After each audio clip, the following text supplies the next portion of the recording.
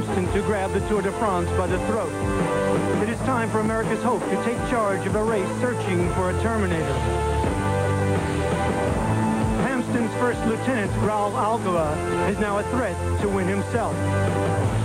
And Dag Otto Lauritzen has exploded onto the scene as 7-Eleven has taken the continent by storm. Irishman Stephen Roche is still the race favorite, but is the pressure eating away at his nerves?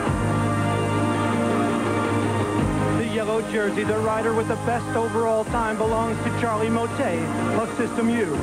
But two-time Tour champion Laurent Fignon still leads the Tour's most dominant team.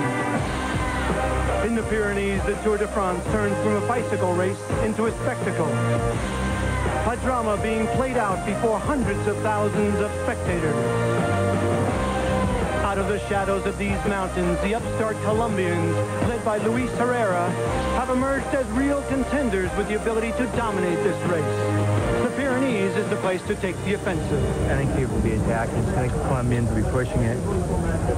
And I hope it explodes. But I hope I'm on the right exploding in.